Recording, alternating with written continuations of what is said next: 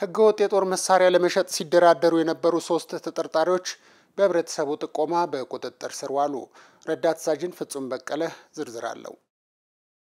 ህገወጥ የጦር መሳሪያ ሽያጭን የሚፈጽሙ ግለሰቦች መኖራቸውን ለአራዳ ክፍለ ከተማ ፖሊስ መምሪያ ከህብረተሰቡ ጥቆማ ይደርሰዋል። መረጃው የደረሰው ፖሊስ ጉዳዩን በጥሞና ሲከታተል ቆይቶ ከእልህ አስጨራሽ የፖሊስ ክትትል በኋላ ግለሰቦቹ በቤታቸው ውስጥ ያከማቹትን 1212 የክላሽ ጥይትና ሽጉጦች መያዛቸውን የአራዳ ክፍለ ከተማ ፖሊስ መምሪያ ወንጀል መርማሪ ዋና ሳጅን አብርሃም ገብሩ ገልጸዋል ገልጸዋል።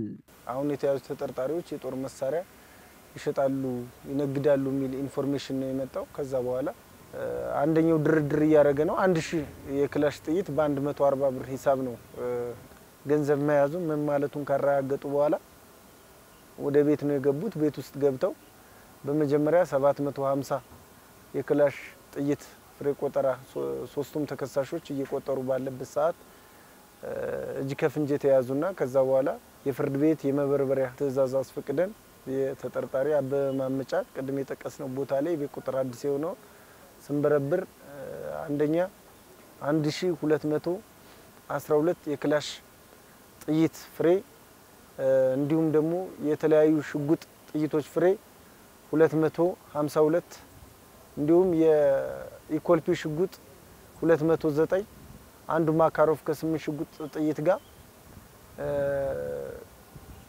አምስት ስታር ሽጉጦች ከነ ሙሉ ካርታቸው እንዲሁም ዘጠኝ የስታር ሽጉጥ ተለጣፊና ዘጠኝ የስታር ሽጉጥ ካርታ ካርታዎች እንዲሁም አንድ የክላሽ ጥይት ካርታ በተጠርጣሪው የመኖሪያ ቤት ውስጥ ተይዞ ምርመራ እያጣራ ነው። ዋና ሳጅን አብርሃም ገብሩ አክለው እንደገለጹት የጦር መሳሪያ ሽያጭ በሕዝብና በሀገር ላይ የሚያሳድረውን ጉዳት በመረዳት ህገወጥ ዝውውርን ለመከላከል በሚደረገው ጥረት ውስጥ ሁሉም ማህበረሰብ የበኩሉን እንዲወጣ መልእክት አስተላልፈዋል።